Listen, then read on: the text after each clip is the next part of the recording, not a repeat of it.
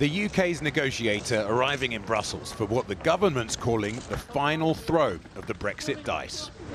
we worked very hard to try and get a deal. We're going to see what happens in negotiations today, and we, we will be looking forward to meeting our European colleagues later on this afternoon. Thank you very much. The issues that still can't be agreed, none more symbolic than fish. The UK's Environment Secretary repeating the threat no deal really is an option. Would you be prepared to accept a no deal Brexit?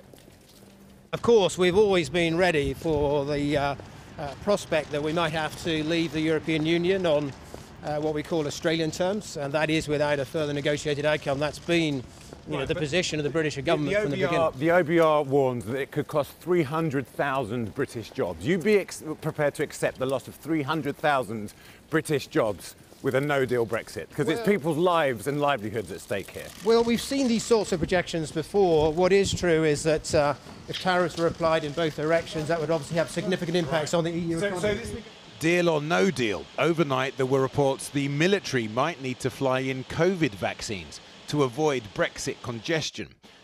But what behind the scenes has actually changed? Well, Boris Johnson and the President of the European Commission, Ursula von der Leyen, have sent their negotiators back to the table, saying significant differences still remain, but the talking should continue. A further effort should be undertaken by our negotiating teams in the last few minutes, a development that could be interpreted as a potential concession. A government official, quoted by the FT, who says the Prime Minister could still remove the controversial parts of the Internal Market Bill, which would break international law. But from fish to governance to wider trade rules. What's referred to as the level playing field. The EU's chief negotiator Michel Barnier tweeted his exasperation when things got bogged down last month he's still looking. With Downing Street briefing this week, they feel it's the EU who's been moving the goalposts. According to the clock, the final whistle is now but moments away. Whatever happens, the countdown will be fraught. If there is a deal, there's still a lot of work to be done. First, the text needs to be checked for legal errors and then translated into each of the EU's other official 23 languages. Finally, it needs approval by both the EU Parliament and then all of the EU's 27 leaders. But the negotiating teams are still at deadlock, and if ever fancy footwork were needed, it is now. Well, Ireland's Foreign Minister Simon Coveney said today that he thought a trade deal was 97 or 98% done. But he also rejected the UK government's claim that the EU had hardened its negotiating stance in recent days. I'm joined now by Neale Richmond, European Affairs spokesman from Mr Coveney's Fine Gael party. Mr Richmond, where, you, where, do you stand in terms of how likely a deal is to be done between that 98%, assessment, 98% assessment from Ireland and the Downing Street's 50-50 chance? Well, I think there were two different analogies there. What the Minister Coveney said this morning is that like this deal is 98% done. It's that crucial 2% now that seems to be in the balance for the British government whether or not they're they're in a position to make that decision to get a deal that is in everyone's interest, that's fair and equitable.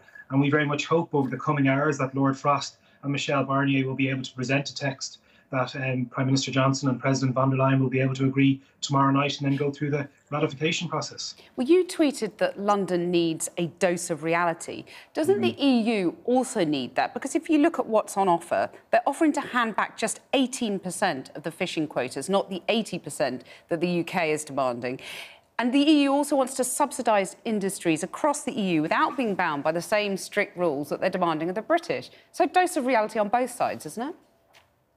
No, not quite, because you think when it gets into fisheries, for example, it has to be quite clear that 70% of the fish that is caught in British waters is sold to European markets anyway.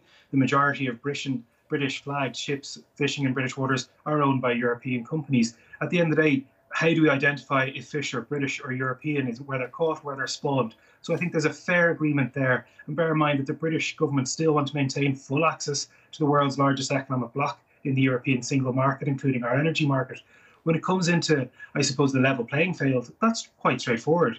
Anyone who wants to do a trade deal of any sort with the European Union has to sign up with it. It's why it's the world's largest economic bloc.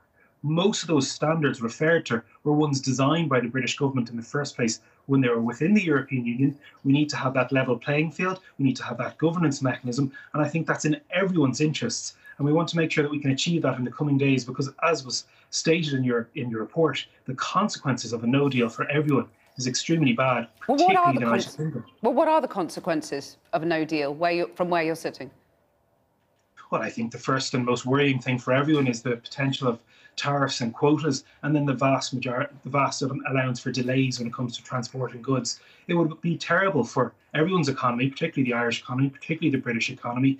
When you bear in mind that about 50% of our beef is sold into the UK, if the UK are going to apply a 40% tariff onto that, that means British consumers are going to be spending more for on their meat, on their food produce the UK isn't a net producer of their own foodstuffs and many other things. But I think what we really need to look at is that there's a deal on offer. It can be achieved in the next couple of days. It can then put, be put through the ratification processes, both in Brussels and in London, and we can continue to go on. If we look at where we started from, if we look at before the referendum, what was being promised to the British people, the now Prime Minister said that the UK would never countenance leaving the single market. And where we are now, yes, a deal can be delivered. It'll be a very thin deal, but this is always a damage limitation operation. And just finally and briefly, if the Prime Minister reinstates those clauses which would allow him to override the withdrawal agreement, what are the implications for the peace process? What do you say to him tonight as he's contemplating that? Well, I think the Prime Minister needs to be very aware that the withdrawal agreement is an international agreement and he is bound by their terms. It is an international agreement formed to protect a peace treaty of which the British government is a co-guarantor.